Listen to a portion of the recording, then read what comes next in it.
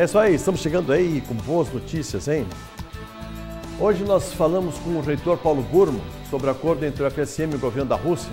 Também sabemos como está a questão do ingresso na universidade. E temos novidade nas obras do campus. Em breve teremos uma nova ciclovia. Confira também as oportunidades na UFSM. Fique conosco, esse é o Jornal da UFSM.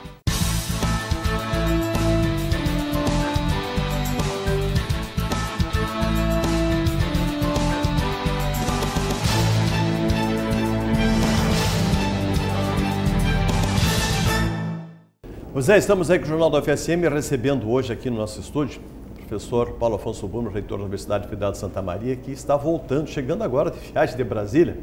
Nem descansou um pouco, está aqui conosco. E essa viagem a Brasília foi bastante importante porque o reitor tratou, entre outros assuntos, de assuntos internacionais, trazendo a universidade cada vez num contexto internacional, né, professor? O professor que esteve com a presidenta Dilma e também o Vladimir Putin. E, e, um encontro bastante proveitoso e principalmente com a possibilidade da nossa universidade ser inserida nesse contexto de colaborar e receber colaboração. Como é que foi isso, professor? Obrigado por ter vindo aqui ao nosso programa. Acho que é mais uma oportunidade que a universidade, em que a universidade se coloca, né, de estabelecer acordos de cooperação internacionais, é, dando sequência a alguns já convênios, eu diria que de já existentes e consolidados com a, a União Soviética, a Rússia, e esse, em particular, tem um, um apelo especial que trata assim, de é, trazer para a universidade a alta tecnologia de comunicação, particularmente no momento em que eh, a universidade está criando o curso de Engenharia e Telecomunicações, e também no contexto em que nós já temos algum conhecimento e estudo nesta área a partir de um grupo de pesquisadores do Centro de Tecnologia e do Centro de Ciências Rurais.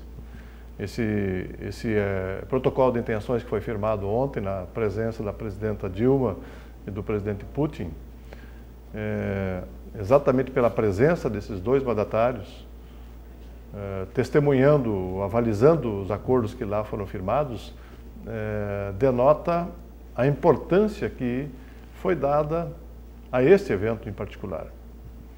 Estávamos nós lá, na Universidade Federal de Santa Maria, é, como uma das únicas universidades brasileiras presentes, participando desse momento, assinando esse protocolo de intenções, que vai dar conta da instalação e manutenção é, de uma estação operativa de sinais de satélite para atender ao ao sistema GLONASS, que é um sistema semelhante ao GPS, que é com tecnologia americana, o GLONASS com tecnologia russa e o Galileu, que é um outro sistema com tecnologia europeia, de posicionamento global em três dimensões, é, que evidentemente vem exata, exatamente ao encontro daquilo que nós temos aqui nesse grupo de georreferenciamento uh, que trabalha no CCR, no Politécnico e no Centro de Tecnologia, eh, trazendo a oportunidade de desenvolvimento de pesquisas, de atividades de formação de profissionais nessa área. A gente já fazia já o censuramento, já, né, professor, através do professor do CCR. O que, que ajuda isso? Como é que vai ser a participação de cada um nesse, nesse, nesse convênio? O que, que os, os russos entram? O que, que a universidade pode entrar nesse convênio? Os russos entram com equipamento, né, com antenas, com equipamento, com satélites, obviamente, são Sim se não me engano, são 24 satélites que fazem esse monitoramento e lançamento de informações. As antenas captam, processam e auxiliam nesse, nesse processo de georreferenciamento, de localização, enfim, em qualquer área da superfície do planeta. Então, esse é um, um sistema de posicionamento global. A universidade entra com área física com os seus pesquisadores. A área física é uma área pequena, né? o equipamento é de tecnologia de ponta, e antenas que serão colocadas sobre o prédio onde essa estrutura, esse laboratório vai ser instalado. Ou já está sendo instalado, estaria sendo instalado. Então, a oportunidade para pesquisa, sem dúvida nenhuma, para a formação de profissionais nesta área, é, para atividades de ensino, para atividades de pesquisa e para atividades de extensão, sem dúvida nenhuma. Obviamente que é bem ampla né, atuação dela. Quais seriam os cursos, mais ou menos, que podem ser beneficiados, né? que podem recorrer e o que está positivo para alguns cursos na universidade, essa estação, professor? Ah, os cursos da área da tecnológica, da área de engenharia, da, da, das áreas de engenharia, da área das, das, ciências rurais. Na verdade, quando se fala em georreferenciamento, uhum. essa, essa ação, ela, ela impacta sobre todos, todas as áreas da universidade propriamente. Bom, abre um leque também internacional a coisa. Né? Isso aí interessa ao mundo inteiro, essa estação. Ah, sem dúvida. Eu acho que, sobretudo, esse protocolo de intenções, associado às outras eh, já ações existentes desta área, abre uma perspectiva importante de eh, acordos de cooperação com a Rússia, uma das potências mundiais, tá? eh, que, evidentemente, eh, volta os seus olhos para a América Latina, particularmente para o Brasil, e proporciona, evidentemente, uma série de outras oportunidades para que nós possamos interagir.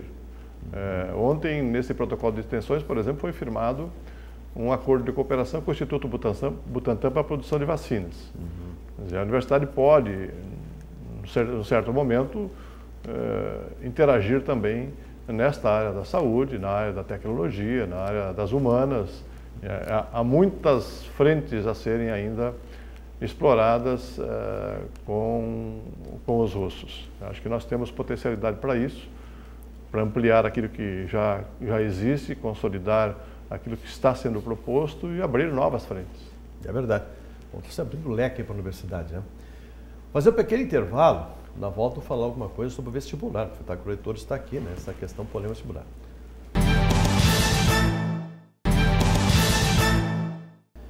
Estamos de volta aqui com essa edição meio que especial, né? Aproveitando o professor eh, Paulo Gomes está aqui conosco. Nós estávamos falando da questão da estação de rastreamento. Professor, uma curiosidade também que chama atenção, onde é que vai ser localizada essa estação, né? E quem é que vai coordenar, a equipe que vai coordenar esse trabalho aqui pela universidade para representar a universidade nesse projeto?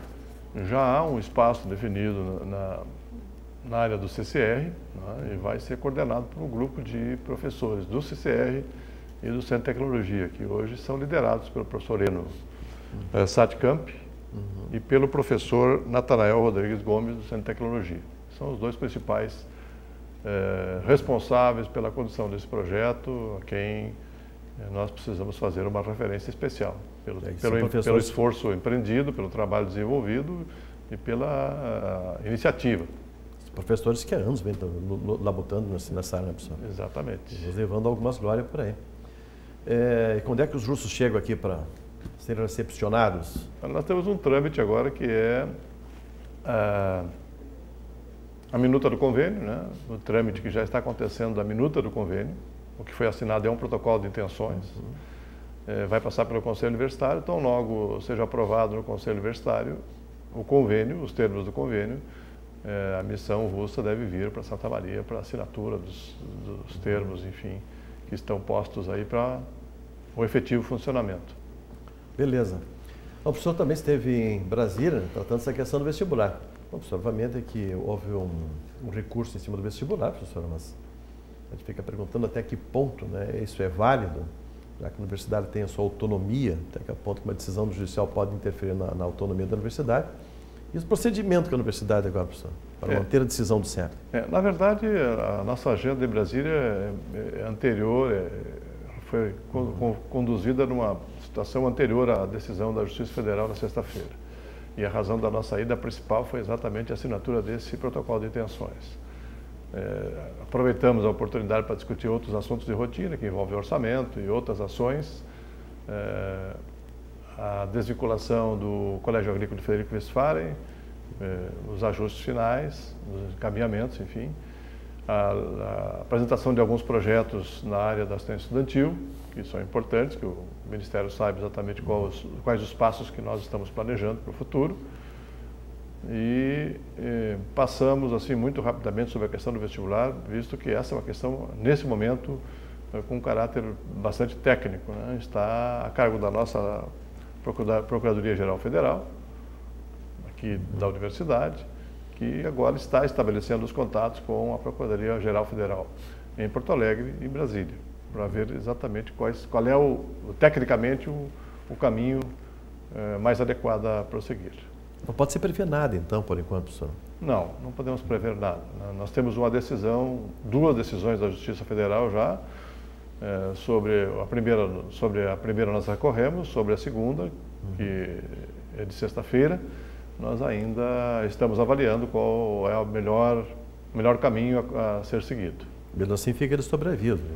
É o problema. Olha, a Coperves e a Pró-Reitoria de Graduação estão trabalhando com as duas possibilidades, da preparação tanto no processo vestibular, porque nós temos o processo seletivo, o PS2 e o PS3 que obrigatoriamente têm que ser ofertados, e isto vai efetivamente acontecer, a possibilidade do vestibular ser mantida e a possibilidade da decisão que o CEP tomou uh, ser uh, resgatada.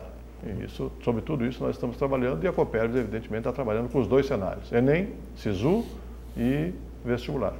Essa questão histórica que o senhor falou, da desvinculação do, do, do Colégio Agrícola Federico Westphalen, fato positivo que tem nisso? O fato positivo principal que nós temos é a ampliação do número de a possibilidade de ampliação do número de vagas. O Colégio Agrícola Federico Westphalen, no modelo de estrutura é, pré-campus, que como é classificado o Colégio Agrícola Federico Westphalen, dobra o seu número de professores, dobra o seu número de técnicos administrativos e, consequentemente, dobra o número de eh, vagas disponíveis para os estudantes daquela região. Como nós sabemos, a região noroeste do estado é uma região que eh, se ressente de apoio do Estado na, na uhum. região, seja na área de ensino, na área da saúde, na área uh, de, logística e transporte. E, e esta é mais um, uma movimentação da comunidade, ela decorre muito de uma movimentação da comunidade em relação à criação do Instituto Federal uh, em Frederico Westphalen. Na verdade é uma vitória isso, né, professor? Para a região, sem dúvida nenhuma. Para a universidade, eu diria assim que não representa nenhuma vantagem se formos olhar apenas para o nosso umbigo, como nós uhum. nos referimos. Não, não, não, se constitui nenhuma vantagem. Se Sim. constitui uma vantagem para a comunidade, para a sociedade como um todo. Mas também não constitui desvantagem. Né? É, absolutamente, nenhuma desvantagem. Lado humano, professora, a universidade está ampliando as ciclovias, né? que hoje começou aqui na universidade, as ciclovias, e hoje todo mundo sabe que é um meio econômico, barato e saudável. Né? Seu projeto aqui está ampliando as ciclovias aqui na universidade? É, as ciclovias tiveram início em 2012, né? foi um início que é, foi importante, estratégico, né?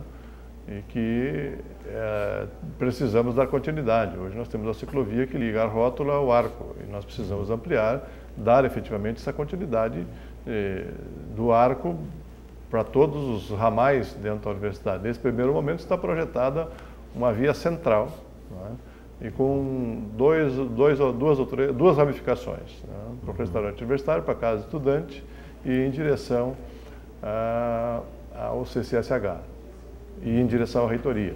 Então, a via central, é, paralela à Avenida Roraima, com, esses, com essas ramificações, nesse primeiro momento. Lógico que com o passar do tempo, e na medida que tenhamos recursos, isso vai ser estendido para os principais uh, espaços de, de, deslocamento dentro da universidade. É, já dizem que a universidade é um centro de lazer nos fins de semana, quer dizer que isso aumenta cada vez mais, professor. Sem dúvida. A universidade está se constituindo exatamente pela falta de, desses espaços de opções é, no, na área principal da cidade, é, num grande espaço de lazer, de, de congraçamento, enfim, cultural, porque o projeto também é agregar é, eventos culturais aos domingos, né? pelo menos uma vez por mês, aqui no Lago do Planetário, uhum. dando as condições necessárias para que as pessoas que venham para cá tenham acesso a todo tipo de informação. Paralelamente a isso, e muito discretamente, nós estamos atuando é, não no sentido de, de, intervenção daquilo que vem funcionando naturalmente, uhum. mas agregando melhores condições para que as pessoas que vêm, da comunidade que vêm ao campus, é, se sintam melhor envolvidas ou melhor abraçadas pela universidade. Estamos colocando água quente para chimarrão, água, água potável para, para uso convencional.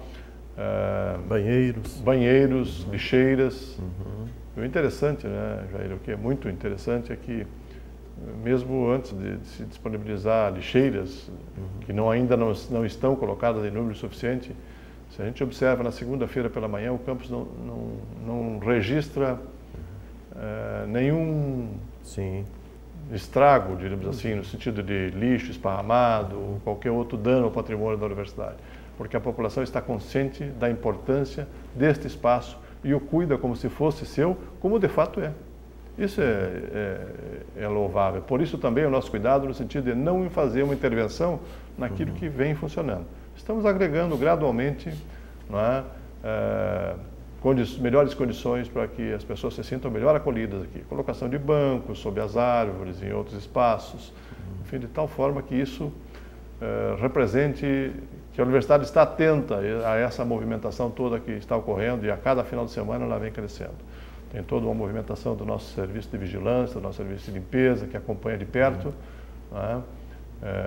o suficiente para não interferir e para garantir também a segurança às pessoas que aqui estão. É, teve um. Queria churrasqueira, mas é perigoso, né, professor? Tem aqui que é, é meio inflamável aqui a coisa. Né? Mas é isso aí, pessoal. São bem-vindos à universidade cada vez mais, né, professor, a universidade está aberta a toda a comunidade, toda da região, né, porque a gente vem, já vi pessoas de outras cidades que vêm em Santa Maria, passam o dia inteiro aqui, fazem piquenique aqui dentro, até na zona do Tambo lá, que é distante, tinha gente lá, né, e aos fins de semana é bonito ver a universidade, professor.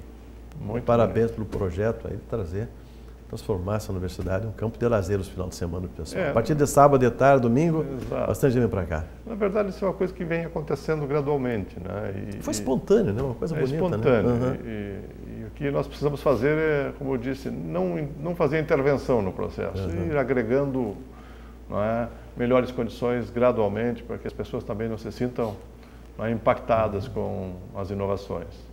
Mas hoje é possível você já dispor de uma água quente para o chimarrão, para o chá, uhum. até para o café. Né? Isso. Né? Ah, uhum. e, e, água potável, e banheiros, e lixeiras. Estamos, vamos colocar bancos. Esses eventos culturais que acontecerão no Largo Planetário também estão projetados já para o mês de agosto. Quer dizer, uhum. acho que as coisas vão acontecendo é. naturalmente, é, acolhendo efetivamente a comunidade que busca esta área, que é um parque belíssimo, né? É, com muitas condições para receber a população. Vamos para tirar fotografia também. Ah. E tem esse pertinho, estou vendendo lanche agora também, está prometendo. Está aparecendo os caras. Professor, obrigado por ter vindo aqui para o nosso programa, né? obviamente que é um prazer sempre recebê-lo aqui, trazer essas boas notícias, principalmente para a universidade e para toda a comunidade em geral, ok? Acho que a universidade é, um, é, um, é uma grande fonte de geração de boas notícias. Né? Uhum. Ultimamente, o que a gente tem visto é que aparentemente a universidade foi reduzida a um evento que é o evento vestibular. Uhum. nós temos, por exemplo, agora teremos no final do mês de julho é, três eventos aí que vão mobilizar tanto o quanto o vestibular mobiliza, né? é que é o Encontro Nacional dos Grupos PET, que é um evento de repercussão nacional. Vem gente de todos os cantos do país, espera-se aproximadamente duas mil pessoas por três dias, quatro dias aqui na, na universidade que vão visitar Santa Maria, que vão conhecer Santa Maria, que vão trazer a sua solidariedade, o seu conhecimento, a sua cultura para Santa Maria. Eu acho isso espetacular. É por isso que digo, nós somos fonte de muitas boas notícias para nós ficarmos assim com tanta marcação em cima dessa questão do vestibular, uhum. que também, como disse já em outros momentos, é, um, é uma mudança que se faz necessária, principalmente porque vai trazer benefícios à sociedade como um todo. E quanto mais tempo nós demorarmos para trazer essa mudança, é, mais tarde as pessoas vão ter a oportunidade de se beneficiar com a mudança. De qualquer forma, como disse, respeitamos a decisão uhum. é, judicial, muito embora a contestemos exatamente por interferir naquilo que é muito caro para a universidade, que é a questão da autonomia. É verdade. É verdade. A autonomia que é uma luta de muito tempo, senhor. Vamos ter que preservar ela. Exatamente. Bom, Agradecendo a tua presença do reitor, vamos fazer um pequeno intervalo, mas assim que nós voltarmos, nós falamos aqui a respeito da ciclovia. Pois bem, tem matéria especial sobre isso. Vamos ver daqui a pouco, ok? Intervalo e já voltamos.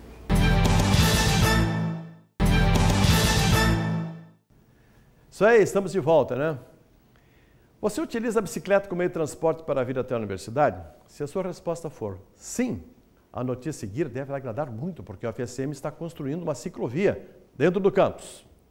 O projeto foi elaborado em abril deste ano e as obras começaram no dia 30 de junho. A ciclovia será construída paralela à Avenida Roraima.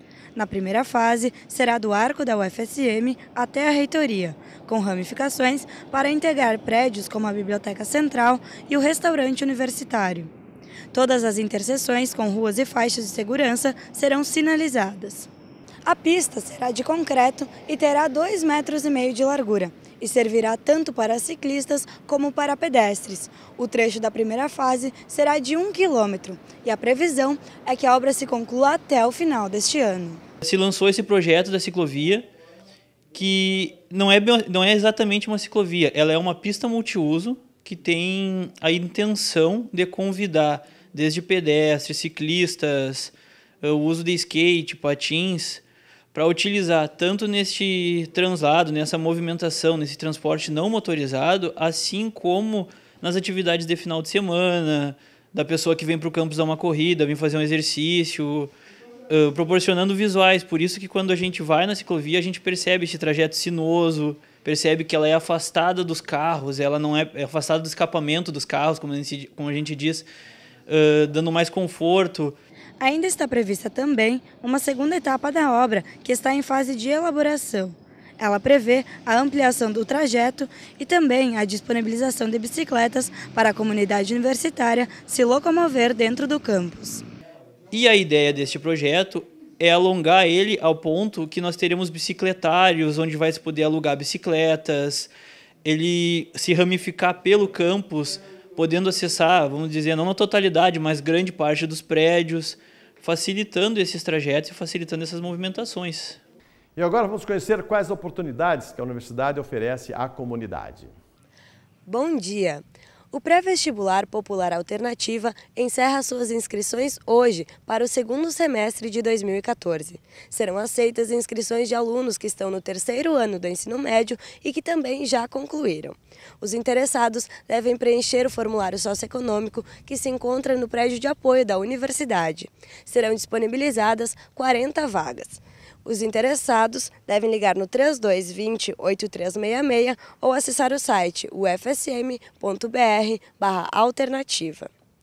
A universidade vai realizar o evento Descubra o FSM nos dias 21 e 23 de agosto.